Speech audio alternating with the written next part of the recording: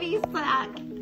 Oh my goodness. Oh my goodness. Thank you, Gussie. It's always nice to see dogs doing jobs. You know, this is a retriever that has this innate need to go and get things and bring them back to you. Traditionally, it used to be for gaming and for hunting, but why not try to create something for your lifestyle, like getting the groceries? Only makes the grocery trip better, and now you can do it in one trip, right? No one likes going multiple times back to the car. So if you have a dog, this is a great representation of doing something that the dog enjoys, but also makes your life easier.